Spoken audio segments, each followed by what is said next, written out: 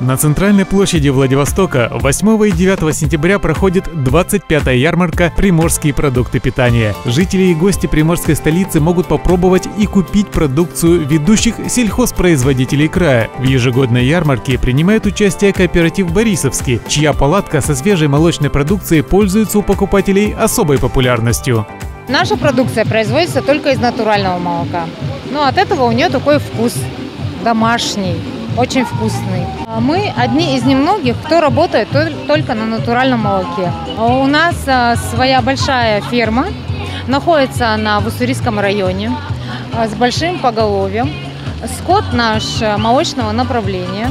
В этом году молокозавод представил на ярмарке новинки – йогурты со вкусом клубники и персика. Изменилась и фасовка творога, теперь есть упаковки по 500 и 300 грамм. Продукция компании каждый год занимает призовые места на краевой ярмарке. У нас вся продукция популярная очень. Сыр адыгейский, он, ну, как бы его все знают, мы уже на протяжении двух с половиной где-то лет э, продаем его. Заняли в прошлом году грант-при за него. У нас э, йогурты ягодные очень вкусные, персик новинка и клубничка. Мы каждый год приезжаем на ярмарку да, во Владивосток, и у нас каждый год призовые места. В палатке Борисовского молокозавода представлен широкий ассортимент. Покупатели приходят сюда за свежим молоком, творогом, сливочным маслом, йогуртами и адыгейским сыром. Ну, я купила сметану и йогурт.